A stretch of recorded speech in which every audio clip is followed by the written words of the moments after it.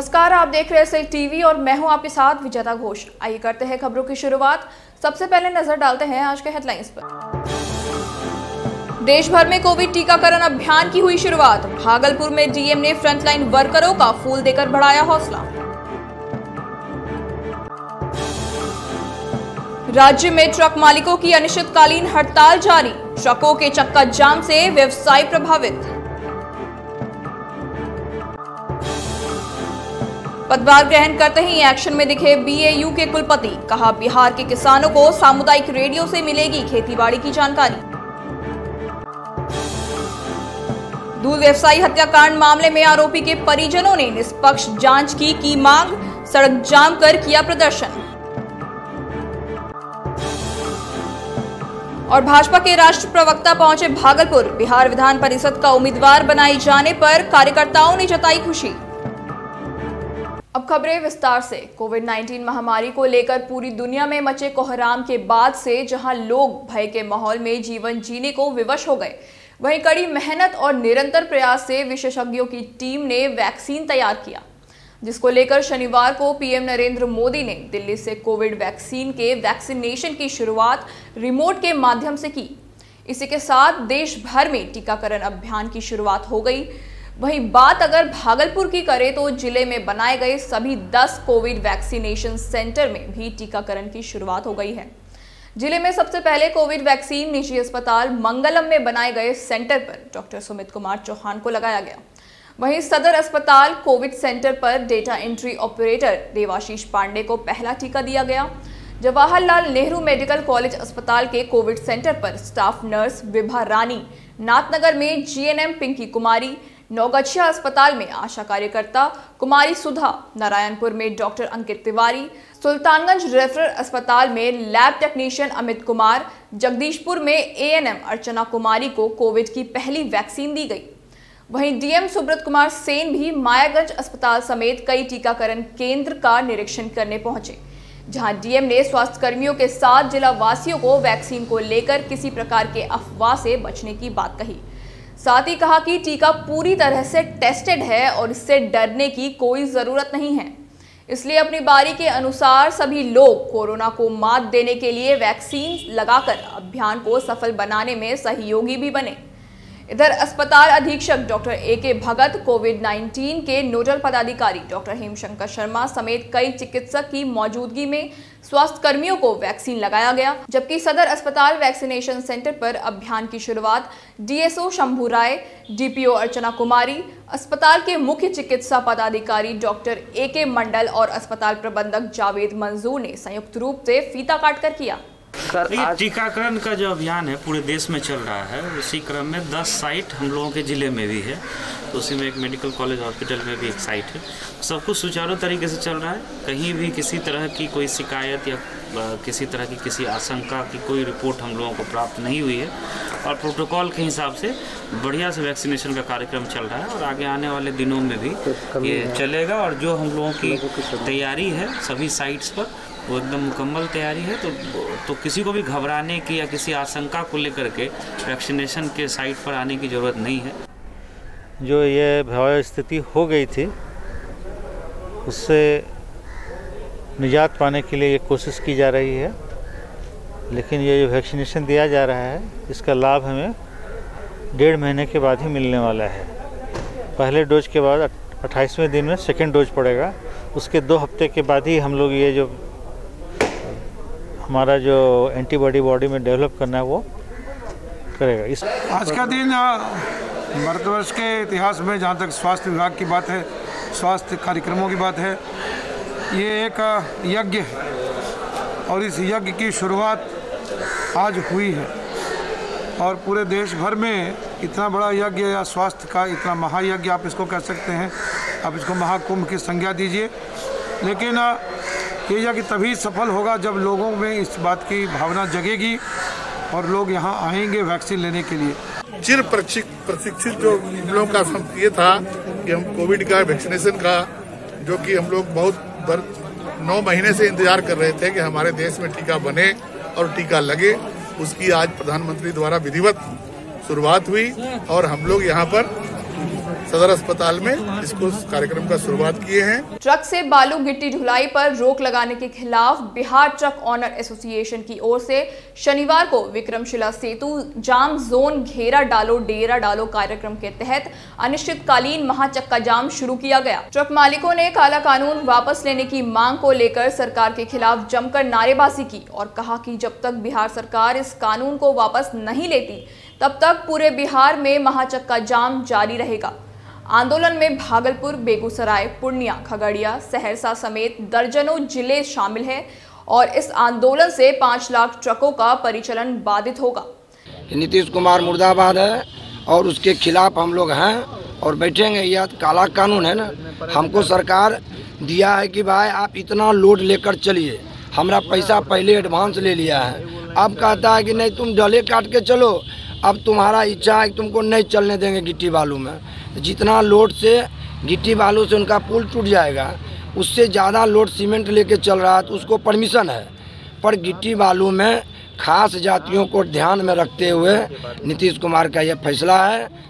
पंद्रह तारीख के मध्यरात्रि से विक्रमशिला सेतु जाम जोन में हम लोग आकर ढेरा घेरा डालो, डेला डालो का कार्यक्रम बिहार ट्रक ओनर एसोसिएशन के बैनर तले कर रहे हैं। और इसमें से लगभग हमारे विक्रमशिला सेतु जाम में खगड़िया, बेगूसराय, सहरसा, मधेपुरा, पूर्णिया, अररिया, कटिहार, भागलपुर, बांका, ये सब लोग इस जोन में हैं। पदभार ग्रहण करने के बाद बिहार कृषि विश्वविद्यालय सबौर के कुलपति डॉक्टर आर के सोहाने काफ़ी एक्शन में नज़र आए। शनिवार को कुलपति ने कृषि वैज्ञानिकों, अधिकारियों और मीडिया कर्मियों के साथ वार्ता कर बीएयू की उपलब्धि और योजनाओं की समीक्षा की। इस दौरान कृषि वैज्ञानिकों ने कहा कि फ़िलहाल बिहार कृषि विश्वविद्यालय सबौर से साप्ताहिक 16 लाख किसानों को मौसम की जानकारी एसएमएस से भेजी जा रही है। साथ ही ड्रोन से डेटा कलेक्शन की तैयारी जारी है। इसके साथ ही सामुदायिक रेडियो के माध्यम से सभी गाँवों में खेती बाड़ी की विधि किसानों को दी जा रही है। वार्ताक्रम में प्रोजेक्टर के माध्यम से कृषि शोध, किसान ज्ञान रथ, एफएम ग्रीन, यूट्यूब चैनल, सब उमंग, सब स्वावलंबी, किसान चौपाल कार्यक्रम समेत कई योजनाओं का उद्देश्य बताया गया। वहीं प्रभारी कुलपति डॉक्टर आर के सुहाने ने प्रेस कॉन्फ्रेंस में बिहार कृषि विश्वविद्यालय की ओर से किसानों के लिए चलाई जा रही विभिन्न कार्यक्रमों की जानकारी विस्तार पूर्वक दी। कुलपति ने बताया कि बीएयू में राष्ट्र और अंतर्राष्ट्रीय प्रोजेक्ट पर काम किए जा रहे हैं, जिससे भविष्य में किसानों को काफ़ी लाभ मिलेगा। वहीं डॉक्टर कुलपति आर के सोहाने ने कहा कि बीएयू के अधीन संचालित कृषि विज्ञान केंद्रों एवं उसके क्षेत्राधिकार में चल रहे जलवायु अनुकूल कृषि कार्यक्रम के तहत गाँव में प्रत्येक माह के प्रथम मंगलवार को जल जीवन हरियाली प्रक्षेत्र दिवस आयोजन किया जाएगा। उन्होंने कहा कि युवाओं को कौशल विकास प्रशिक्षण के माध्यम से स्वरोजगार हेतु दक्ष बनाने का प्रयास किया जा रहा है। हमारे डायरेक्टर सीट साहब ने एक नया काम शुरू किया था कि कोरोना के पीरियड में सीट की होम डिलीवरी।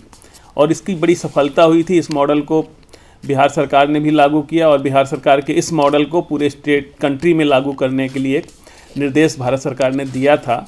तो हम लोगों ने ये निर्णय लिया कि अब इसको हम लोग और गति देंगे ताकि हमारे किसानों को अभी आईसीटी के बारे में इस बताया आपको कि हमारे जो किसान ज्ञान रथ हैं, अभी काफ़ी दिन से वो खड़े हुए थे, अभी हमारे चले गए कटिहार में गया हुआ है। भागलपुर में बीते दिनों बरारी थाना क्षेत्र में हुए दूध व्यवसायी प्रदीप यादव हत्याकांड मामले में नामजद आरोपी प्रमोद यादव वे उनके पुत्र सुमित यादव और अमित यादव के परिजनों ने शनिवार को बरारी थाना प्रभारी के खिलाफ मनाली चौक के समीप सड़क जाम कर विरोध प्रदर्शन किया।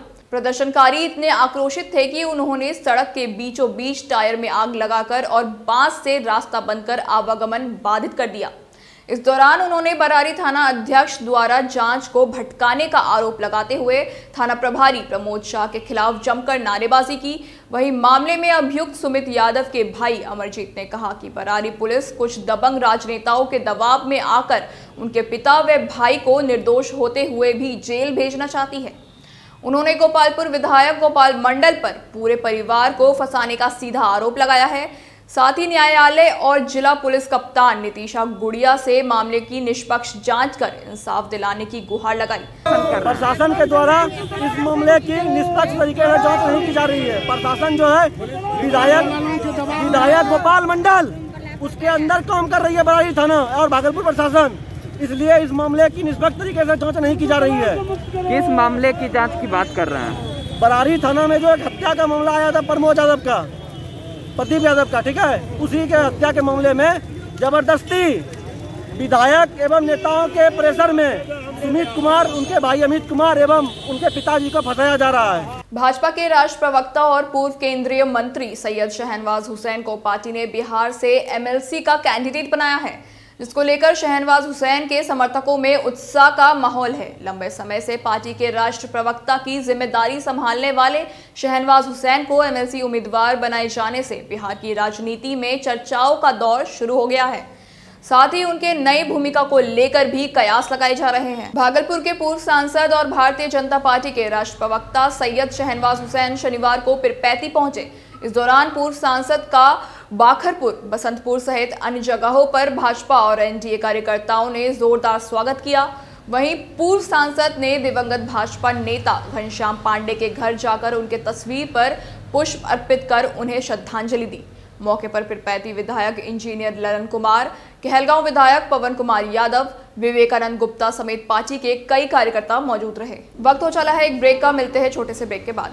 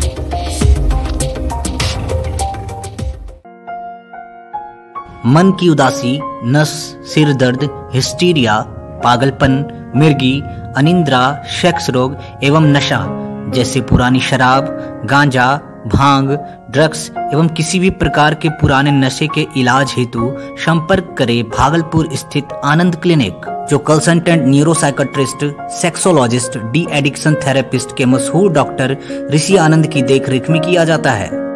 अत्याधुनिक सुविधाओं से लैस इस अस्पताल में ईईजी, ईसीटी एवं एमबीटी के साथ साथ मरीजों के भर्ती हेतु 24 घंटे एसी, नॉन एसी, जनरल एवं स्पेशल वार्ड की सुविधाएँ उपलब्ध है। आनंद क्लिनिक लाजपत पार्क घंटाघर के उत्तर मोक्षदा स्कूल के समीप मशाक चक भागलपुर बिहार।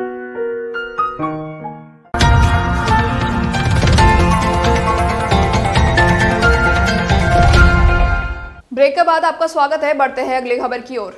एक मंच पर मिलन समारोह के लिए सामने आए रेल और स्थानीय पुलिस। बीते शुक्रवार की देर रात रेल प्रशासन, आरपीएफ, जीआरपी और केंद्र रेलवे रेल यात्री संघ की ओर से यह मिलन समारोह स्टेशन परिसर में आयोजित किया गया। समारोह के दौरान पुलिस ने कहा कि एक दूसरे के साथ समन्वय बनाकर चलने की पूरी कोशिश की जाएगी। साथ ही अपराधियों की धरपकड़ का अभियान भी तेज़ी से चलाया जाएगा। वहीं आरपीएफ इंस्पेक्टर अनिल कुमार सिंह ने कहा कि अगले कुछ दिनों में स्टेशन की दक्षिणी प्रवेश द्वार को खोल दिया जाएगा। गेट खुलने के साथ ही वहाँ की सुरक्षा जाएगी, जिससे असामाजिक तत्वों का जमावड़ा नहीं लगे। वहीं जीआरपी को मुजाहिदपुर, ततारपुर और कोतवाली से समन्वय बनाकर चलना होगा, ताकि अपराधी और अपराध को कंट्रोल किया जा सके। उधर थानेदार अरविंद कुमार ने एसआरपी से मुजाहिदपुर साइड के लिए भारी पुलिस बलों की तैनाती की मांग की।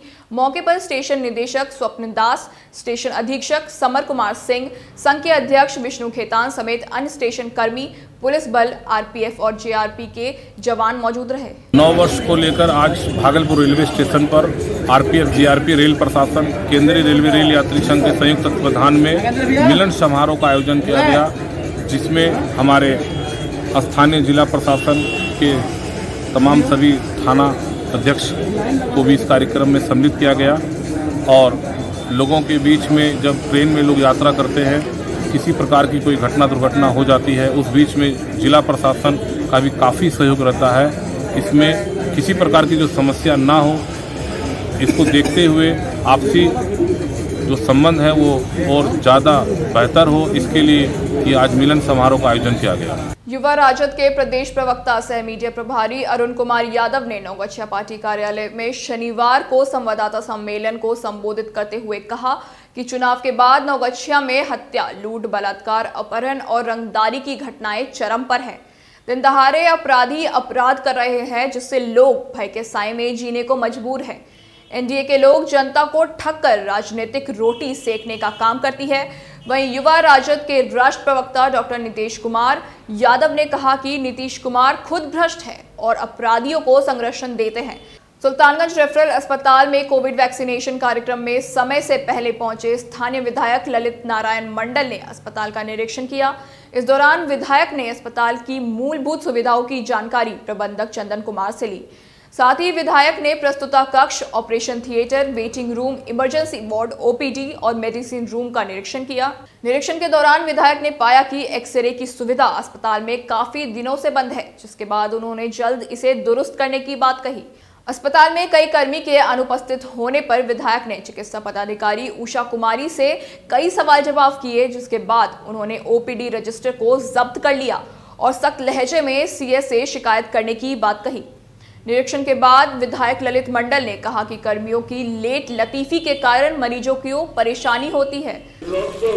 मिला जुला रहा कुछ स्टाफ अभी तक नहीं आया है। जी। उसके बारे में मैडम कुछ बता नहीं पा रही है। और देखते कब तक आती है। उपस्थिति पंजी को सर जब्त किया गया है। हाँ यहाँ पर एक्सरे बंद है।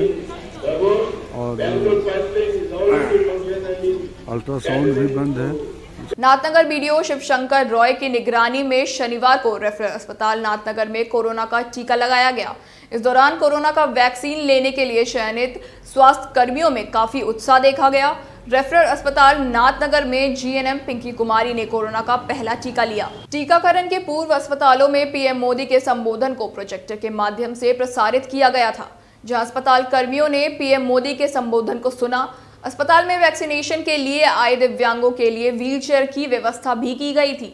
वही केंद्र का निरीक्षण करने civil surgeon doctor Vijay Kumar Singh Nathnagar referral अस्पताल पहुँचे और उन्होंने टीकाकरण के साथ ऑब्जर्वेशन रूम का भी जायजा लिया। आज जो है सो पूरे देश में ये कोविड वैक्सीन का वैक्सीनेशन शुरू किया गया है, जिसका उद्घाटन सुबह में साढ़े दस बजे प्रधानमंत्री ने किया और उसके बाद सारे जगह शुरू हुआ है। फर्दर कल से जो होगा, उसका टाइमिंग दूसरा रहेगा, लेकिन आज ग्यारह बजे से लेकर पाँच बजे तक इसका वैक्सीनेशन होगा।